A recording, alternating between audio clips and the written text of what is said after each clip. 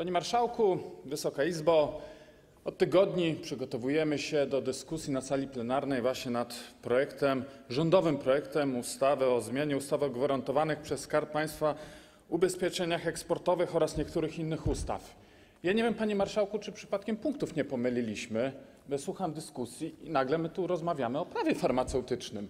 Ja nie wiem, czy to jakieś e, zamieszanie e, w, w organizacji Sejmu, czy co innego tutaj się wkradło, bo rzeczywiście zaglądam do projektu, który rządową ścieżkę przechodził, to znaczy w lutym e, był e, wniesiony do rządu, później w maju były konsultacje e, publiczne, uzgodnienie, opiniowanie, wreszcie w lipcu został przyjęty przez Radę Ministrów, trafił do Sejmu i nagle przedwczoraj na komisji nagle ukradkiem wchodzi coś zupełnie niezwiązanego z tym projektem ustawy.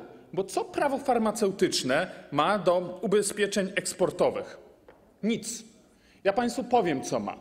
Cwaniactwo tego rządu, cwaniactwo ministra, który odpowiada za tą wrzutkę, który odpowiadał za ustawę apteka dla aptekarza w zeszłej kadencji Sejmu. Otóż państwo się boją. Boją się złożyć sensownej nowelizacji rządowej apteki dla aptekarza, boją się państwo przeprowadzić konsultacji społecznych, konsultacji publicznych, boją się państwo normalnej dyskusji na Komisji Zdrowia, robią to państwo ukradkiem, wrzucając taką wrzutkę, łamiąc w tym sposób konstytucję, bo art. 119 konstytucji mówi wprost, że projekty muszą przejść przez trzy czytania w Sejmie.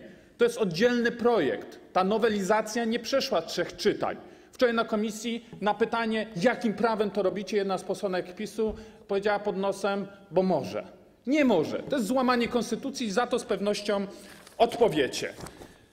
Mówicie, że chronicie polskie firmy. Tak się składa, że 94% aptek w Polsce to jest kapitał polski. I właśnie te apteki chcecie dorżnąć tą nowelizacją. Chcecie resztki rynku zabetonować dla wąskiej grupy interesu, chcecie zamknąć, wywłaszczyć 15% rynku franczyzowego, chcecie zniszczyć 321 polskich rodzinnych firm, które zrzeszając po kilka aptek. Taka jest prawda. Do tego doprowadziła ustawa apteka dla aptekarza, a teraz chcecie docisnąć śrubę. Apteki dla aptekarza zniknęło z polskiego rynku ponad 2 tysiące aptek do poziomu 11 tysięcy. I zyskuje na tym jedna firma. Jedna firma, która po prostu ma taki model, że nastawia się na sieciowanie wirtualne i ta firma od wejścia w życie ustawy dla aptekarza zyskała trzykrotnie na wartości. To właśnie przez wasze regulacje.